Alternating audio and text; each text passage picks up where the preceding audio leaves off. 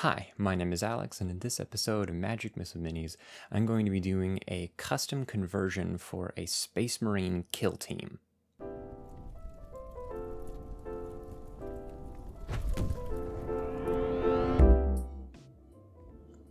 So, to start off with, I do a little bit of assembly, starting by attaching the two main body parts of the Space Marine together and kind of working everything around this kind of as a base. So I wanted to make this Space Marine still fall in line with the other Space Marines I had been making for my custom chapter.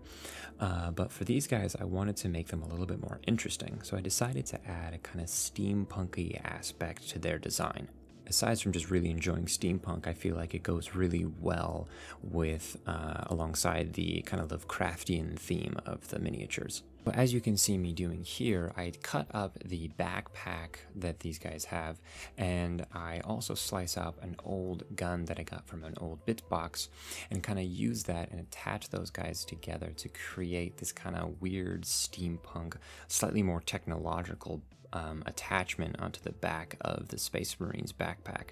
Um, and again, just trying to create a slightly more technological feel and adding random bits of tech that do who knows what, honestly, but just to kind of create a cool, almost Adeptus Mechanicus vibe on these guys, but not quite. But after attaching that piece to the actual backpack, I decided I would do a little bit more assembly and added the arms onto the main body of the Space Marine. And with the arms attached, I can start adding some green stuff. And something I wanted to add to these guys was kind of a mini cape that went across their chest and underneath one of the pauldrons.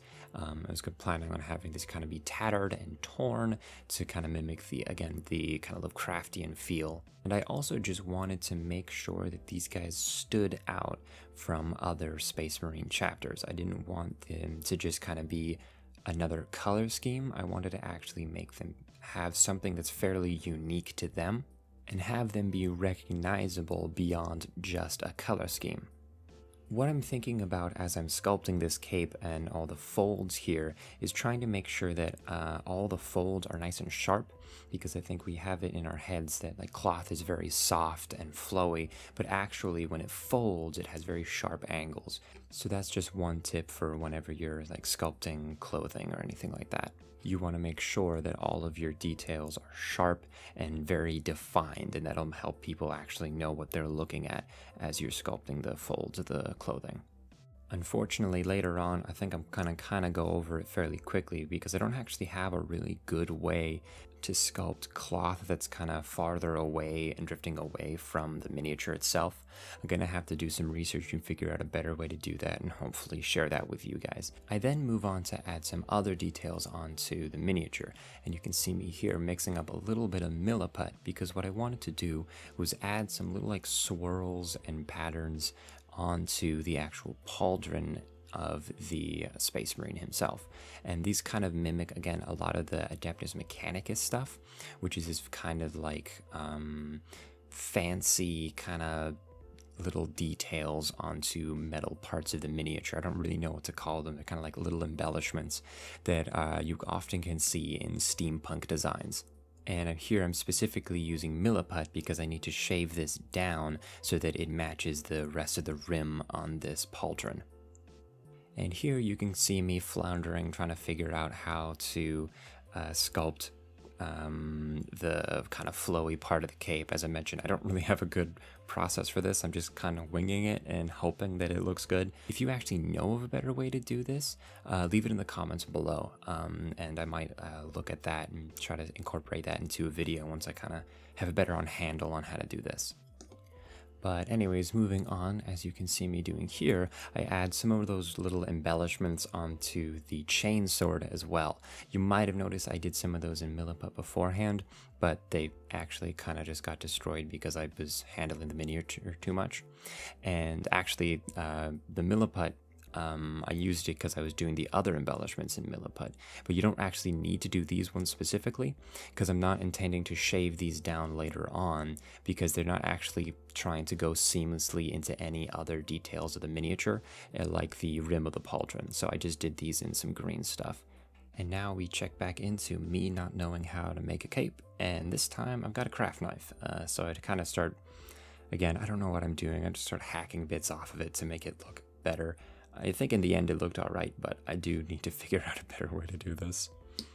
With that sorted, I then go back to the uh, pauldron and shave off the milliput so that it transitions smoothly between the plastic of the miniature, um, kind of like I mentioned I was going to do earlier. And that just makes this look nice and seamless, and that's why I specifically used milliput for this. And then with that finished, all I need to do is add the head of the miniature. And so uh, one of the things I wanted to do was add like a big old pipe that's coming out of the Space Marine's helmet. And so here I chop off a little bit of the helmet itself for where I'm going to attach that. After which I can glue the uh, head onto the miniature itself. And then I take this little piece of tubing that I scrapped off of another miniature and glue that onto the helmet and torso. And after that, I add a couple final details. Uh, I want to add a little bit of more techie stuff onto the other pauldron. And so I just chopped off some random bits uh, and glued them on to something that looked vaguely technological and not particularly important, which is generally how steampunk works. It's just kind of everything is slapped on and hoping that it looks cool. Um, but yeah. I also add a couple of these purity seals from uh, another set of Space Marines that I got to kind of cover up the seam where the cloak kind of didn't actually manage to go underneath the other pauldron that I didn't notice later. So I just glue that on to cover that up. And then I just prime the miniature and here you can see the mini, uh, the actual conversion finished. And now the mini is ready for painting. So I really liked the paint job I had done on my Little Nightmares project a couple weeks ago. And what I did with that was painted everything purple and worked up the highlights from there and it created this great dark feeling. And so that's what I did with this guy as well. I was going to plan on adding a little bit more color and not making it quite so stark uh, so that it looked a little bit more, uh, a little less artsy, I should say. But what this will do is, since I'm not actually base coating anything um, beyond this purple, everything else is just going to be working up highlights from the purple. It'll create um, kind of a unison throughout the entire piece. So all uh, the shadows of this miniature are actually going to be the same color, this dark purple. And as you can see me doing here, I actually start to film the painting of the green. Um, unfortunately, I forgot to film where the actual paints that I used. Uh, I'm using Vallejo model color. Um, but to get this color, I added kind of a forest green type color uh, and a cold kind of cobalt light blue. Um, and that creates this really great tone that I really like. Um, and having the purple in the shadows, I think, is really nice as well, because the entire color is very cold. And so this color is a kind of nice, cold, faded color, um, which helps with the grimdark vibe. If you want to make anything look grimdark, you generally want to mix in blues and um, just gray all the tones down, basically. And here, mostly what I'm doing is wet blending. I'm not actually doing any glazing or anything like that. I've just got both colors, both the shadow color and the green that I've mixed. And I'm just using those and uh, putting them on the miniature wet and then mixing them that way. Um, I've tried glazing in the past and I thought it was really cool until I realized that wet blending just makes a whole lot more sense. And it also just takes significantly less time, and I find I enjoy it a lot more and just get a better result.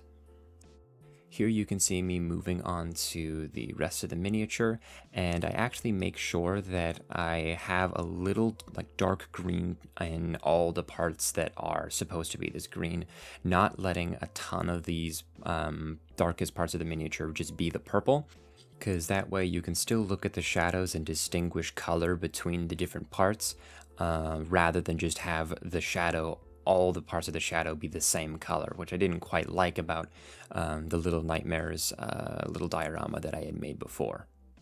I think my only regret with the color scheme that I did with this guy so far is I think the purple that I used for the base tone could have been a little bit lighter. Um, I found that it's really difficult to actually see now that the paint had dried um, that it is a purple and not just a dark gray. So I think next time I'll make the base um, tone that I did, the base purple that I covered everything with, a little bit darker. But with the first layer of green done, I then move on to do the highlights. And so to make this highlight color, I add a little bit of white so that it's not super vibrant, but I also add a little bit more of the blue so it's also not too faded. Um, adding the light kind of grayish blue uh, to the color also helps make these highlights very, very cold, which I think is really important because this color scheme is incredibly similar to that of the Plague Marines, if you know what those are. Um, and I didn't want them to just look like the Plague Marines, and so having the colors be really cold is important because the Plague Marines color scheme is, again, the same greens and coppers, but uh, the green that they use is like a yellowish green and kind of a sickly green. Um, and so I wanted to avoid that, and the main way that I do it is through adding this blue into the highlights, which makes the color still is the same green technically, but just very subtly different, and so that difference is subtle enough that they're distinguishable. I then uh, start painting all of the leathers, and so I do this by mixing up a brown that I would normally use, but again, I also add some purple into this color, kind of since basically all the colors that I'm mixing have a little bit of purple in them, whether it's the shadows or the base color itself. Again, just to tie everything together and having this kind of be this dark faded brownish purple, make sure that you don't actually get drawn to it too much and it's not very distracting from the main parts of the miniature. It's kind of a side detail that's faded and looks good once you notice it, but doesn't actually draw your eye too much. And then I can move on to add the copper color. And again, I did this slightly differently than I normally do. Um, I normally would add a red to make the copper, which again makes sense if you think about what copper looks like, uh, mixing gold and red, sorry. Um, but for this guy, I decided I would add purple to it, kind of keeping in theme with making everything purple uh, and tying it together.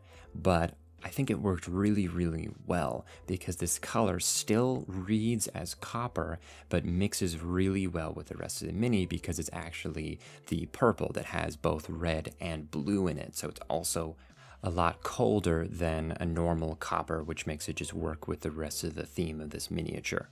Uh, I also made sure that when I mix this color, I mix in a little bit of black and a little bit of brown to darken it so that I can actually add the highlights, which is just straight purple and straight gold and I go about highlighting this like any other part of the miniature. I think for a while when I did metallics, I assumed that I had to paint them differently, but it's just as important to make sure that you're adding highlights in these details, even if you're mixing metallic paints, because it kind of draws your eye to a natural light position that you've done with all of your matte colors and not just kind of trusting the uh, shininess of the metallic paints. However, when I go around to the other metallic parts of the miniature, adding on a base coat of gunmetal, I was kind of running out of time for this video. Um, as of recording this part right here, I need to have this video out in an hour. So I'm a little rushed at this point, and um, so I decided I would do a simple metal recipe where it's just the straight metal and Nuln oil, which I'm going to add later. I then go around all the parts that I wanted to paint black uh, just kind of covering those details again to add some variation into the um, into the little bits of technology that are here and there uh, to add a little variation from the gunmetal and the copper. And then I take a lighter brown that I also mix with some purple and start doing some hash marks and some checking and some just some little detailing onto the leather to make it look a little bit worn.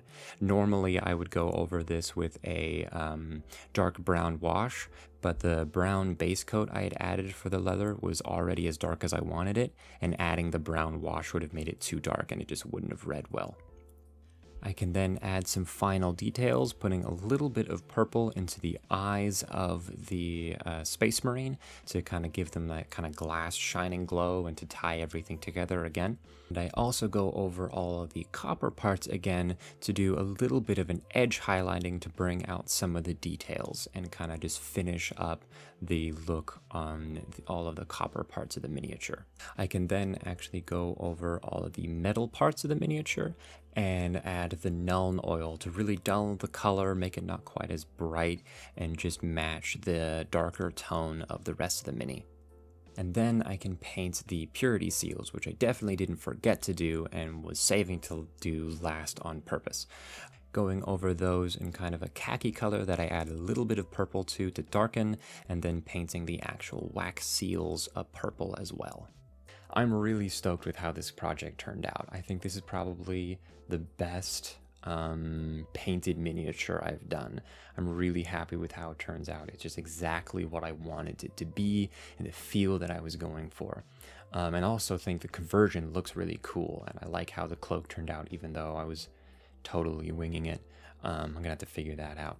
I don't know if this is going to be a part one of a series. If you guys want to see me do all the five of the miniatures that I'm planning on doing, I'm pretty sure it's five for a kill team. Um, uh, and I can just kind of focus on trying to make each of the guys unique and playing around with different feels for each of them, almost kind of treating each of the Space Marines like a character. Um, so I don't know if you guys want to see that. If you do, let me know in the comments. Uh, but aside from that, uh, thank you so much for watching this video. Um, as some of you might notice, I'm in a different place. Um, this is not my normal uh, office. Um, I've moved to Canada, so that's an interesting thing, I guess. Uh, but yeah, I hope you guys enjoyed this video. Uh, if you did, again, leave a like, subscribe, leave a comment if you have any tips, tricks, advice, anything, uh, suggestions for future videos as well. Um, but nonetheless, I look forward to seeing you guys in the next video.